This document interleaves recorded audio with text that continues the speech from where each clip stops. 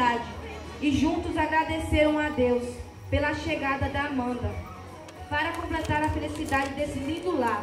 E nesse momento de sonho, ansiedade, adrenalina, emoção e realização, convido a estrela dessa noite para fazer parte desse momento único e especial em sua vida. Venha receber, Amanda, o um abraço daqueles que te amam, que entra a nossa debutante Aplausos, gente, com muita alegria. Uh!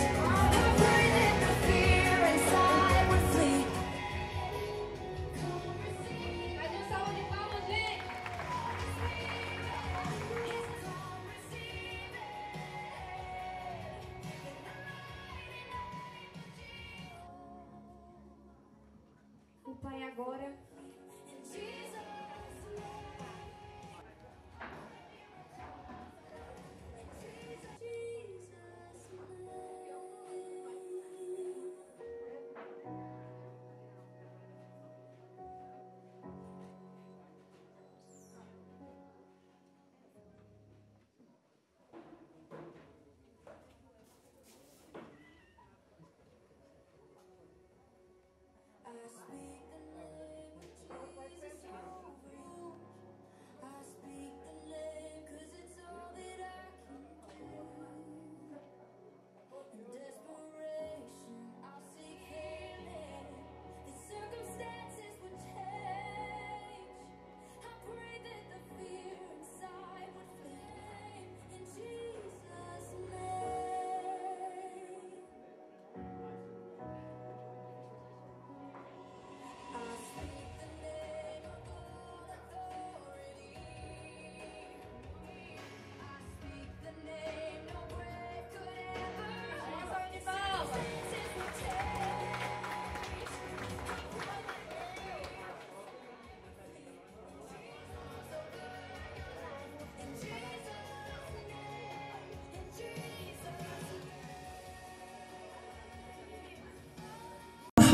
open, but it stays right here empty for days. She told me in the morning she don't feel the same about us in her bones. It seems to me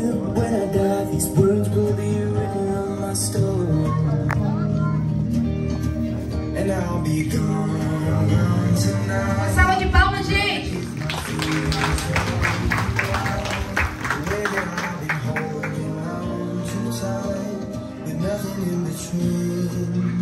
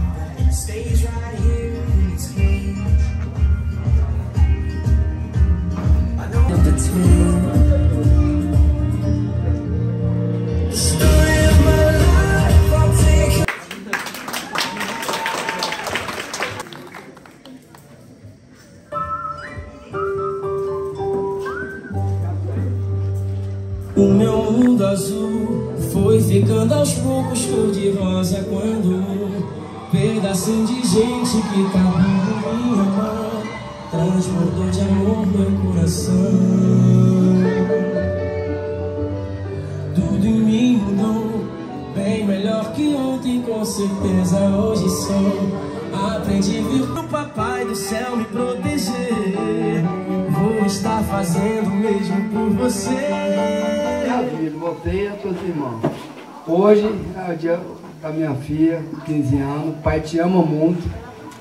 Desde eu vi minha filha nascer a primeira vez, minha vida, meu anjo. Você e teus irmãos teus irmãos. Teu pai te ama muito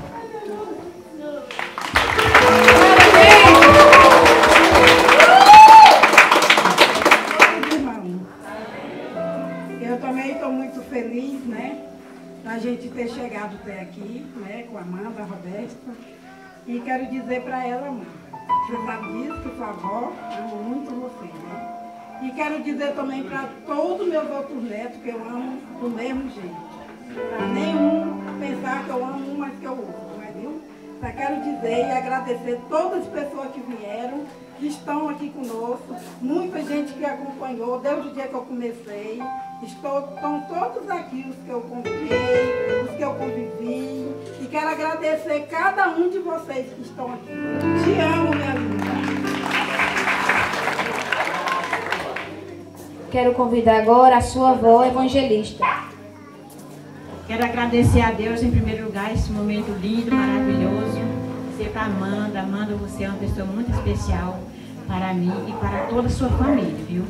Não foi fácil nós chegar até aqui, mas o Senhor nos trouxe, sabe, para nos é, prestigiar o seu momento aqui, lindo, maravilhoso. Estou muito grato à presença de todos vocês, toda a minha família e todos os seus amigos.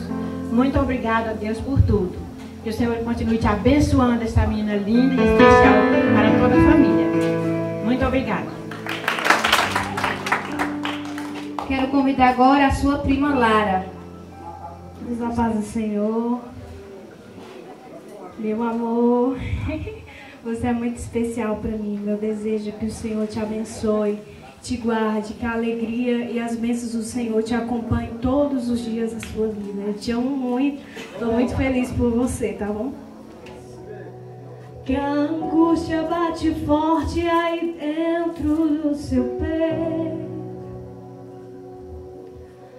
Você tenta enxergar a solução e não vê jeitos bem maiores você já venceu. Foram provas tão difíceis que hoje chega até dizer. Não entendo como foi que eu venci. Uma força que excede. A razão pra ter chegado até aqui. Lembra quando estava por um fio pra desistir? E quando vez era a mão de Deus, era a mão de Deus segurando a chave.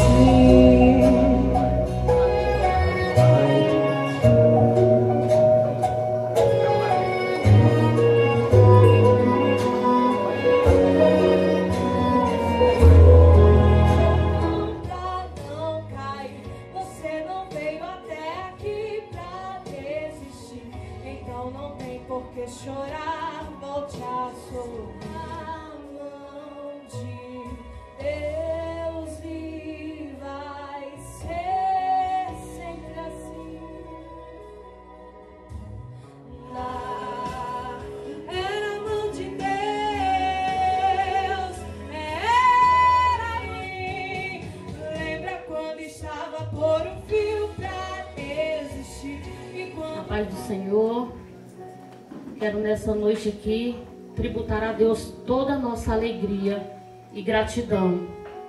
Gratidão a Deus por todos vocês que aqui estão, por tanta honraria com a minha pequena Amanda.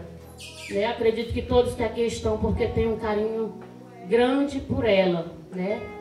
Foram convidados e se foram convidados porque são especiais. Quero aqui agradecer a Deus pela vida de toda a família, em especial a minha família que aqui está, que tem sido o meu sustentáculo para estar até aqui nessa noite.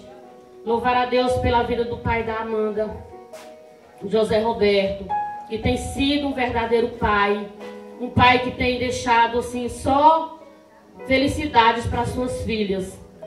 Se não fosse por ele, esta festa não estaria acontecendo.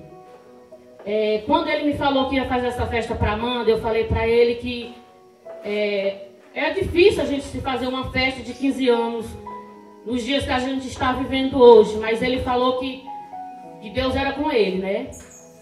E a gente está vendo aqui é uma grande festa para a gente. Para Deus, eu sei que todas as coisas são possíveis. Então, se estamos aqui é porque o Senhor assinou para que estivéssemos aqui nessa noite. Quero agradecer a Deus pela vida da minha mãe que aqui está. E não vou citar nomes porque eu posso pecar nessa noite. Mas eu quero assim falar em rápidas palavras, porque o tempo já foi, né? Em rápidas palavras, a Amanda Roberta tem sido um grande presente de Deus em nossas vidas. Desde quando eu descobri que estava grávida, eu estava desviada dos caminhos do Senhor.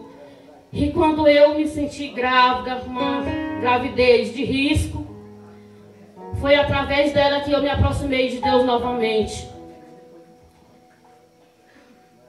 Quando a Amanda nasceu, ela nasceu com um problema é, muito sério, refluxo, que o médico disse que ela tinha que passar por uma cirurgia.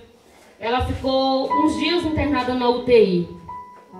E ali todos os dias que eu entrava, eu orava e eu falava, Senhor, se tu tirar minha filha daqui com vida, eu vou te servir.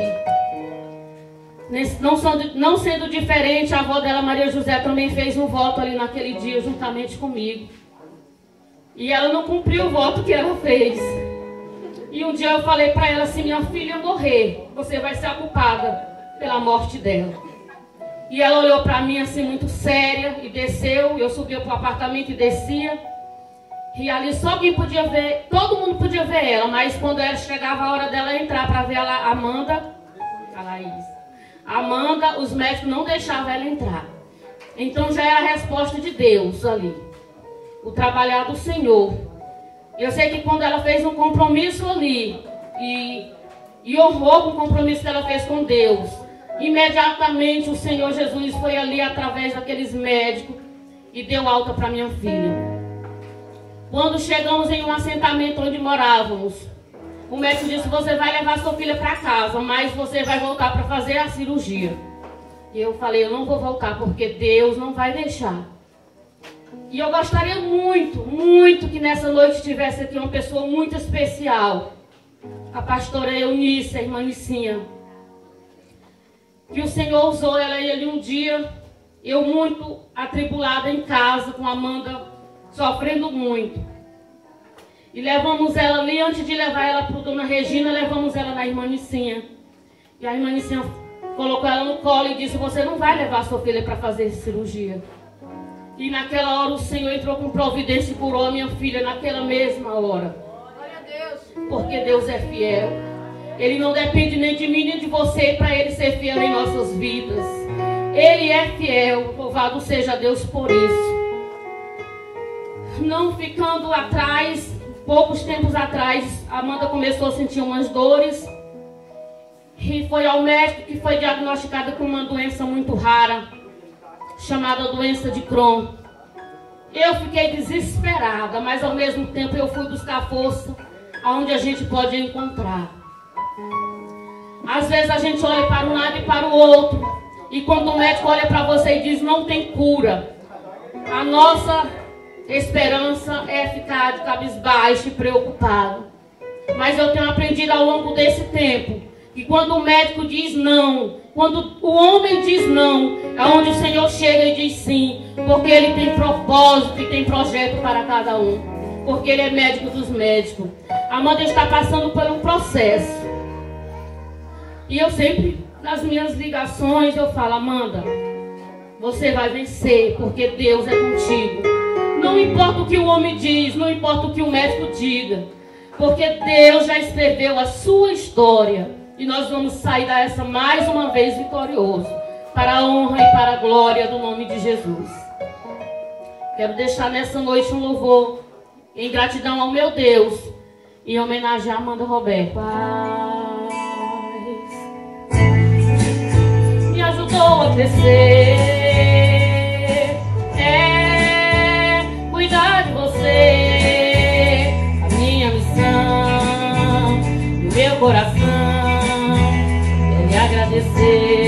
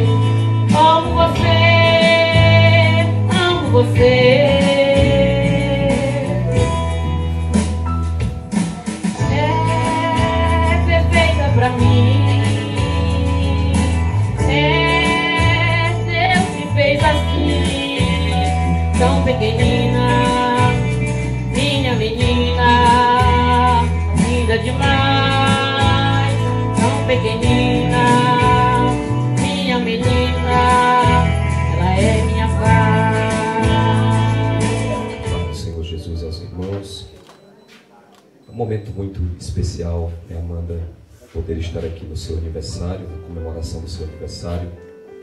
Eu quero nessa noite deixar aqui a minha palavra de gratidão a Deus pela sua vida.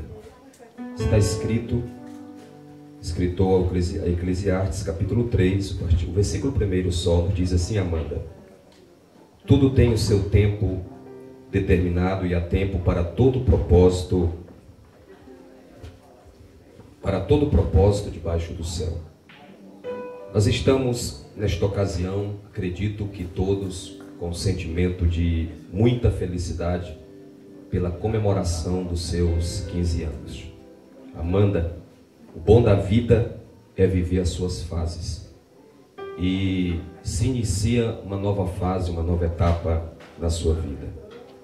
Todos nós estamos aqui nessa noite para celebrar a Deus pelo dom da vida e por essa dádiva tão importante que Deus tem dado a você. Essa palavra dom na Bíblia, ela tem alguns significados, mas se relacionando à questão da vida, dom se fala de presente. E Deus tem te presenteado com mais um ano de vida. Essa vida que Deus tem dado a você, Amanda, que você viva ela intensamente, pois a vida ela é feita de fases. Aproveita a fase que você vai viver a partir deste momento. Preciso dizer, Amanda, para você que a fase da criança, ela já se passou. A fase da adolescência, você está no intermediário, entrando na juventude. Eu posso dizer nessa noite que a fase da adolescência também, ela já se passou agora. Você está entrando numa das fases mais bonitas da vida, que é a fase da juventude. Quero aqui nessa noite, Amanda, dizer a você que é um privilégio poder alcançar os 15 anos de idade e um dom de Deus poder viver. E por você estar entrando nesta fase da juventude, eu quero aqui deixar três conselhos bíblicos que a Bíblia nos ensina nesta noite para você e para todos os ouvintes. O primeiro conselho bíblico, Amanda, que eu deixo a você, está escrito pelo o homem mais sábio da Bíblia, Salomão, que escreveu em Provérbios capítulo 4, versículo 23, dizendo: Sobre tudo que você deva guardar, guarda o teu coração, porque dele procede as saídas da vida. Amanda, guarda o teu coração. Você precisa ter cuidado com aquilo que passa pela sua mente. Guardar o coração é ter o cuidado com que o teu coração irá desejar. Amanda, guardar o coração é você filtrar aquilo que pode e aquilo que não pode entrar nele. Amanda, enche seu coração daquilo que a palavra de Deus diz, diz que é bom. O apóstolo Paulo, escrevendo ao Filipenses capítulo 4, versículo 8, ele diz: Tudo que é verdadeiro, tudo que é honesto, tudo que é justo, tudo que é puro, tudo que é amável, tudo que é de boa fama, nisso enche o vosso coração. Esse é o primeiro conselho: guarda o teu coração. O segundo conselho está escrito em Eclesiastes capítulo 12, versículo 1, que diz assim, Amanda: Lembra-te do teu Criador nos dias da tua mocidade. É tempo, chegou o momento de você lembrar mais ainda do Senhor. Amanda, a fase da juventude é a fase de você se dedicar mais a Deus.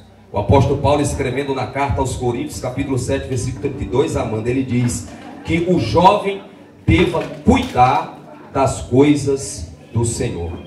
Em Gênesis capítulo 39, versículo de número 8 e 9, a Bíblia diz que José, ele se lembrou do Senhor na sua juventude.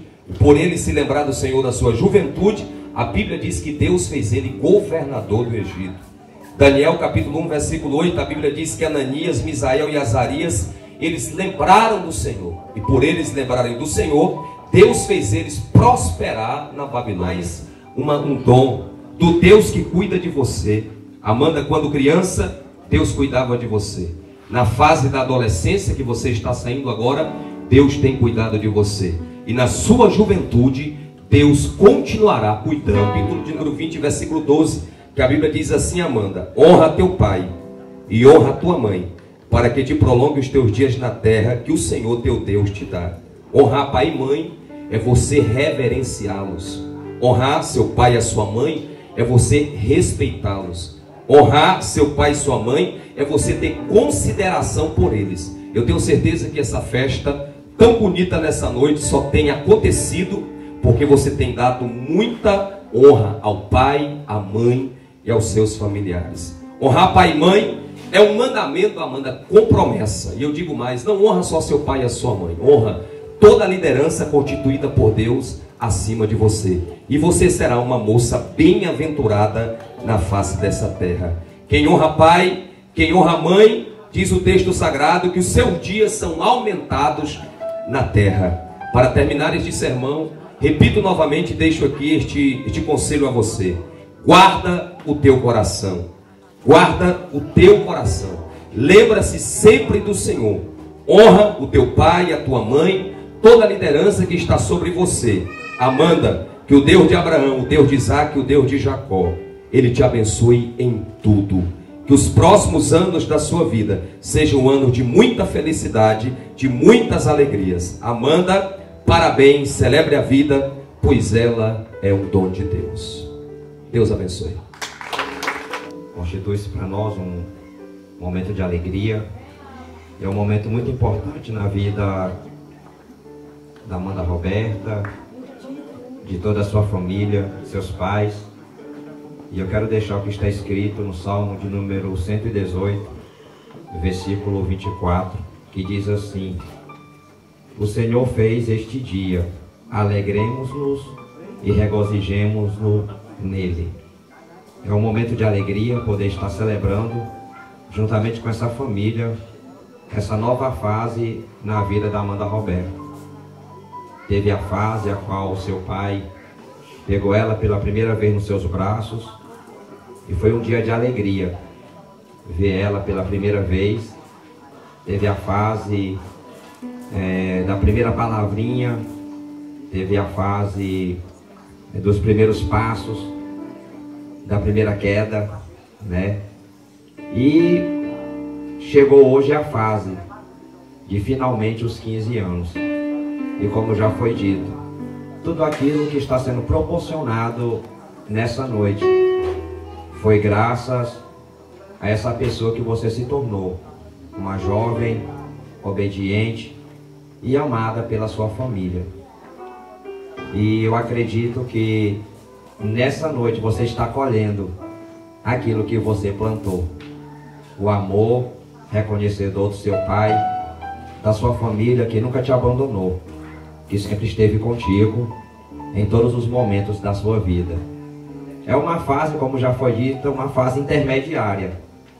Porque Amanda, você não é mais criança, mas ainda também não é adulta, está no meio.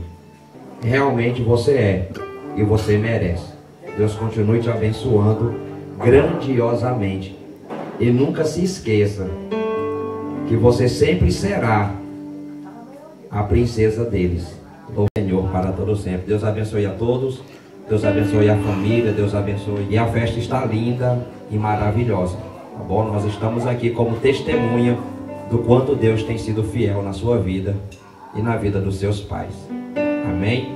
Aqui estamos, Senhor da glória, nessa noite, na tua presença, compartilhando, ó Pai, com esta família, por esta dádiva a qual o Senhor tem concedido, ó Deus, a Amanda Roberta. Essa dádiva, ó Pai, dos 15 anos, a qual, Senhor da glória, ela tem alcançado por tua graça, por tua misericórdia. Já foi falado, ó Pai, os testemunhos, Senhor da glória, das dificuldades que Amanda teve desde o seu nascimento. Mas nós queremos te louvar, Senhor, porque até aqui o Senhor tem nos. São 15 anos, Senhor da glória, alcançados por ela. E a partir desta noite, a partir deste dia que o Senhor fez, ela, Senhor da glória, terá que tomar decisões na sua vida. Decisões, ó Senhor, que vai reger a sua vida, que vai reger o seu futuro. E queremos te pedir, Senhor da glória, assim como o Senhor foi com ela desde o primeiro dia de vida, a livrando, ó Pai, de toda enfermidade. Nós te pedimos, ó Pai, nessa noite, estenda as tuas mãos sobre ela. Que ela venha ser uma bênção nas tuas mãos, Senhor da glória. Que ela venha continuar honrando os seus pais, honrando, honrando ao Senhor. Que ela venha ser uma bênção, Senhor da glória, no meio da sua casa, da sua família. Abençoa esta família, abençoa esta casa, Senhor. Abençoa os seus pais, os seus avós, que tanto amam ela, Senhor da glória. Nós te pedimos a tua bênção sobre a vida desta jovem, Senhor. Desta jovem, ó Pai, que logo mais, ó Senhor, se tornará adulta. Esta jovem, Senhor da glória, que tomará decisões e decisões importantes na sua vida. O Senhor esteja na vida dela, Senhor da glória. Em nome de Jesus Cristo, nós te pedimos, ó Pai, prepara o caminho da Amanda, Senhor da glória. A sua vida, o seu futuro, os seus passos. Que ela venha crescer na graça e no conhecimento da tua palavra. Que ela venha ser uma bênção, Senhor da glória, na vida de todos aqueles que a cercam.